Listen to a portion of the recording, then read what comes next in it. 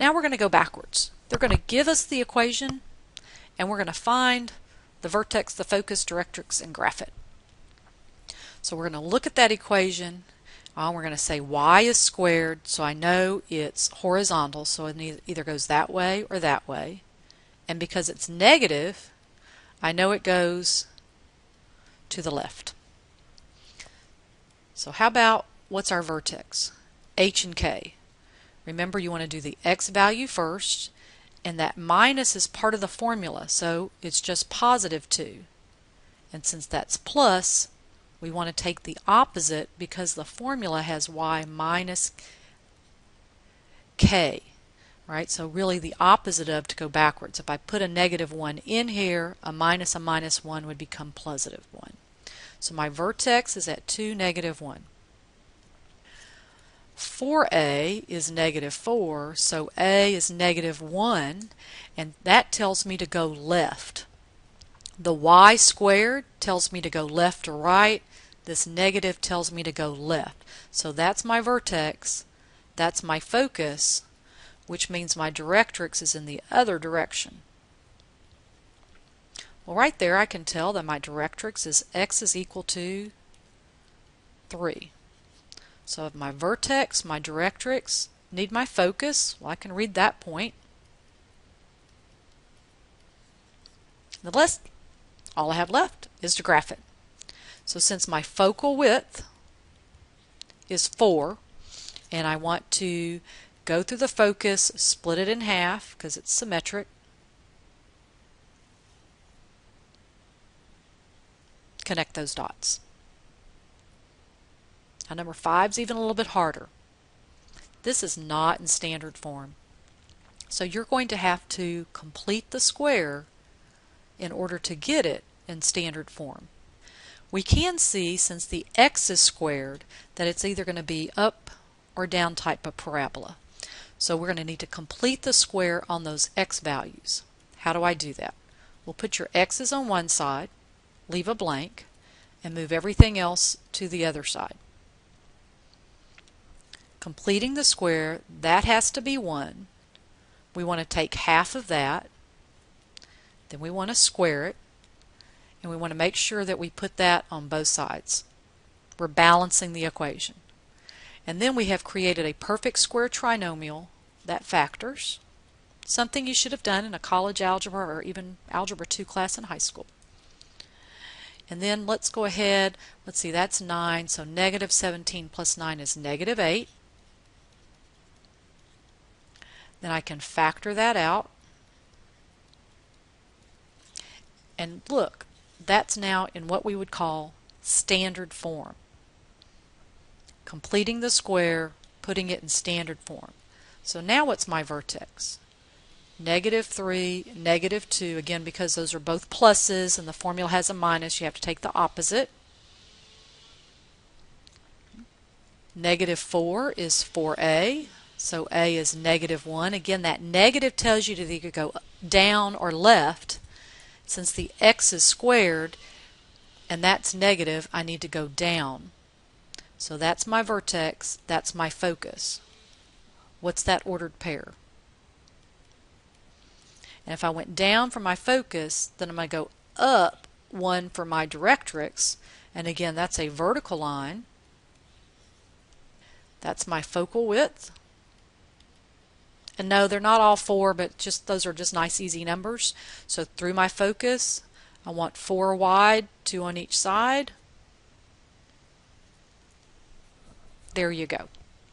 So I have found the vertex, the focus, the directrix, and I have graphed it. And on this one, I had to complete the square to get it into standard form.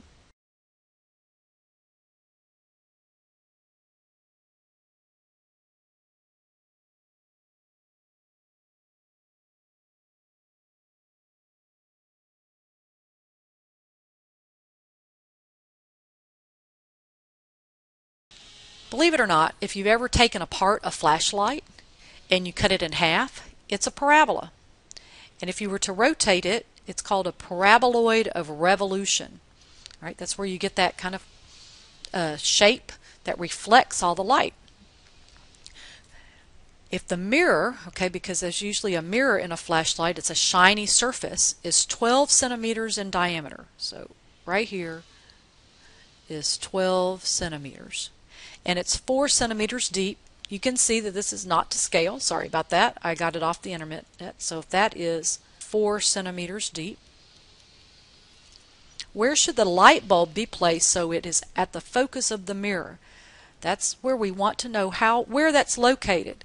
It's because of all the light rays. So when the light shines out, it hits that surface and it beams straight out anywhere you do it. It's pretty cool. How do we do that?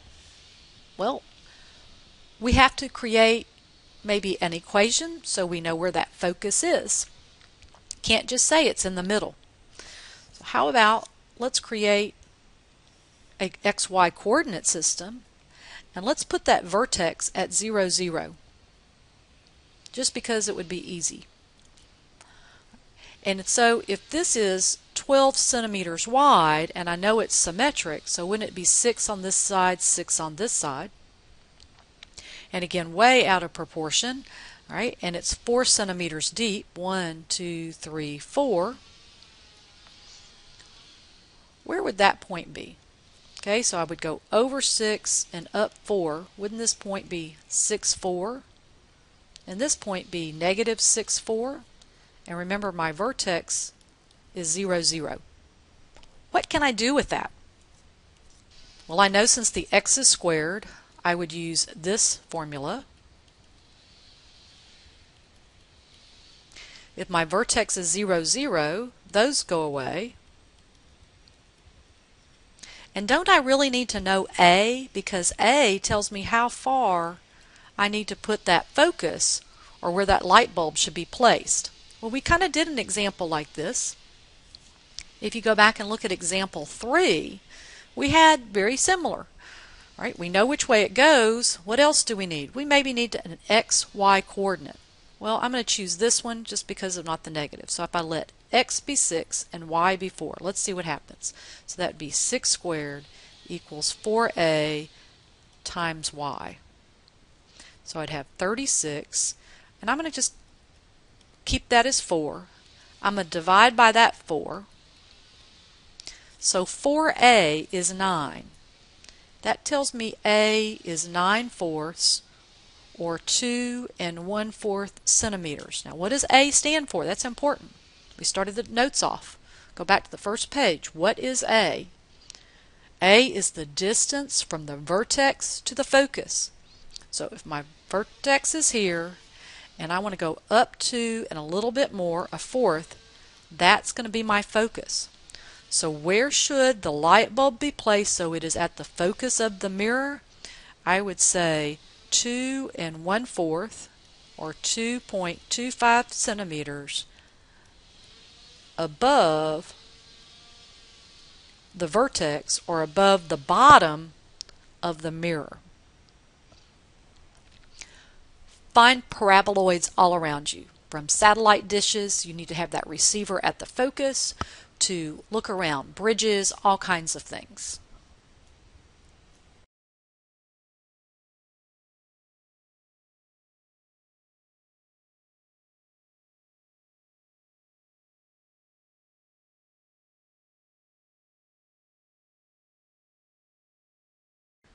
Here is just one more example of completing the square. We need to be able to graph this equation, find the vertex, the focus, and the directrix, and write that equation in standard form. So we really need to start here in order to answer these other questions. This is not in standard form, it's in general form, and the y is squared. So we need to rewrite it and complete the square. Since the y is squared, put all the y's on one side, and everything else on the other. Then in order to complete the square, we want to take half of that coefficient, put it here, and square it, and add it to both sides. Now you may be saying, well, why don't you go ahead and write 16? It's because the next step, I've created a perfect square trinomial that I need to factor, and it's just a lot easier. I know I put the variable, and then whatever half that number is, including the sign, goes there. Convince yourself. Go ahead and FOIL that out, and you would get y squared minus 8y plus 16, which is negative 4 squared. So over here, I'm going to collect like terms, so that's going to be plus 3. That's already looking better. The last thing I have to do is I have to factor out that coefficient,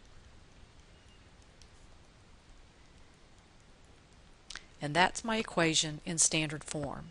From there, I will I can tell the vertex. Be careful, x comes before y, and I want to take the opposite sign, so my vertex is negative 1, 4. Let's go ahead and plot that. Now, in order to find my focus and directrix, I do that from my graph. Let's go ahead and do that. So if I, I know 4a is 3, and a is 3 fourths, a is the distance from the vertex to the focus and the vertex to the directrix, but I need to know which way this graph goes. Since the y is squared, it goes side to side, and since that's positive, it goes to the right. So from my vertex, I'm going to go over to the right 3 fourths, and that's my focus. Well, what's that point?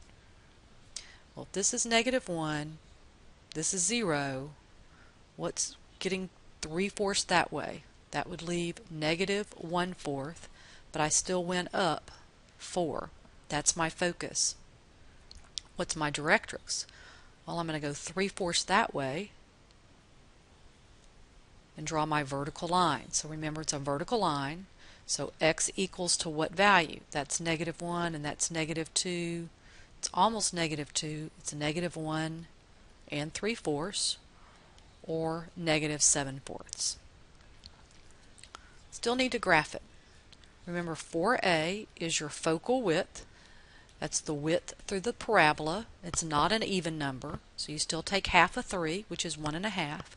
Remember from the focus, up 1 and a half, down 1 and a half. Remember it's symmetrical. Then connect from the vertex. So we have completed the square and written our equation in standard form and I've answered all the other parts.